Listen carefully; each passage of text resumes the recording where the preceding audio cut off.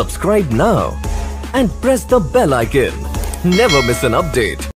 Manipal kitchen ಗ್ರಾಹಕರಿಗೆ ಸ್ವಾಗತ ಇವತ್ತು ನಾನು ನಿಮಗೆ ಅವಲಕ್ಕಿ ಚೂಡ ಹುರಿದ್ಬಿಟ್ಟು ಹೇಗೆ ಮಾಡೋದು ಅಂತ ಹೇಳ್ತೀನಿ. ಹಾಂ? ನೋಡಿ, ಅದನ್ನು ಫಸ್ಟು ಈ ಅವಲಕ್ಕಿನ ಬಿಸಿಲಲ್ಲಿ ಚೆನ್ನಾಗಿ ಎರಡು ಗಂಟೆ ಒಣಗಿಸ್ಕೊಡಿ. ಆಮೇಲೆ ಅದನ್ನು ಪ್ಯಾನಿಗೆ ಹಾಕ್ಬಿಟ್ಟು ಎರಡು ಲಾಟ್ ಮಾಡಿ ಅದನ್ನು ಚೆನ್ನಾಗಿ ರೋಸ್ಟ್ ಮಾಡಿ.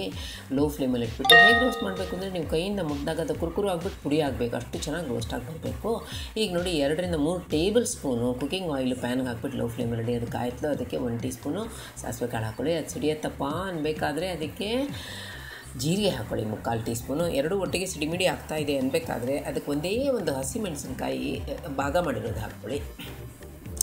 ಒಂದು ಬ್ಯಾಡಗಿ ಮೆಣಸಿನ್ಕಾಯಿ ಚೂರು ಮಾಡಿರೋದು ಹಾಕ್ಕೊಳ್ಳಿ. ಹಾಗೆ ಅದಕ್ಕೆ ಸ್ವಲ್ಪ ಕರಿಬೇವಿನ ಸೊಪ್ಪು ಹಾಕ್ಕೊಳ್ಳಿ. ಎಲ್ಲನೂ ಒಟ್ಟಿಗೆ ಕಂಬೈನ್ ಆಗೋ ತನಕ ಎರೋಮೆಟಿಕ್ ಆಗೋ ತನಕ ಚೆನ್ನಾಗಿ ಒಂದು ನಿಮಿಷ ಫ್ರೈ ಮಾಡ್ಕೊಳ್ಳಿ. ಲೋ ಫ್ಲೇಮಲ್ಲೇ ಮಾಡ್ಕೊಳ್ಳಿ. ಫ್ಲೇಮ್ ಜಾಸ್ತಿ ಮಾಡೋಕ್ಕೆ ಹೋಗಬೇಡಿ. ಈಗ ನೋಡಿ ಅದಕ್ಕೆ ಗೋಡಂಬಿ ಇದೆಯಲ್ಲ, ಅದು ಸ್ವಲ್ಪ ಹಾಕ್ಕೊಳ್ಳಿ. ತುಂಡು ಮಾಡಿರೋದು. ಮತ್ತು ಹುರಿಗಡಲೆ ಇರುತ್ತಲ್ಲ, ಅದು ಮೂರು ಟೇಬಲ್ ಸ್ಪೂನ್ ಹಾಕ್ಕೊಳ್ಳಿ. ಇದು ಎರಡು ಹುರಿದಿಲ್ಲ, ಅದರಿಂದ ಚೆನ್ನಾಗಿ ಒಂದೇ ಥರ ಅದನ್ನು ಲೋ ಫ್ಲೇಮಲ್ಲೇ ಇಟ್ಬಿಟ್ಟು ಹುರ್ಕೊಳ್ಳಿ.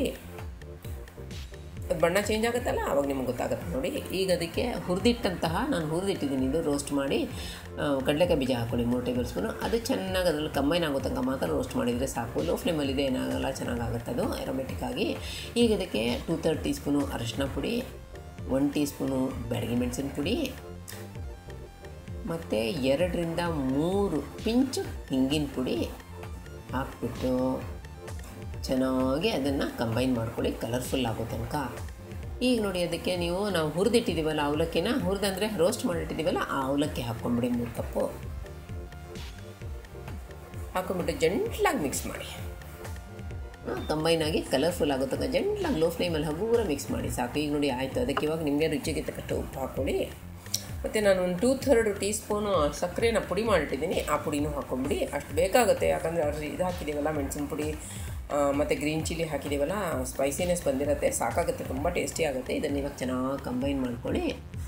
ಈಗ ನೋಡಿ ಅದಕ್ಕೆ ಆಯಿತಲ್ಲ ಕಂಬೈನ್ ಈಗ ಅರ್ಧ ಟೀ ಸ್ಪೂನ್ ಕೊತ್ತಂಬರಿ ಬೀಜ ಹಸಿ ಹಾಕ್ಕೊಳ್ಳಿ ಮತ್ತು ಎರಡು ಟೀ ಸ್ಪೂನು ನಾನು ಹುರಿದಿಟ್ಟಿದ್ದೀನಿ ಬಿಳಿ ಎಳ್ಳು. ಅದನ್ನು ಅದನ್ನು ಹಾಕೊಂಬಿಡಿ. ಇದು ಎರಡೂ ಫ್ಲೇವರ್ಗೋಸ್ಕರ ಹಾಕೋದು ತುಂಬ ಚೆನ್ನಾಗಿರುತ್ತೆ.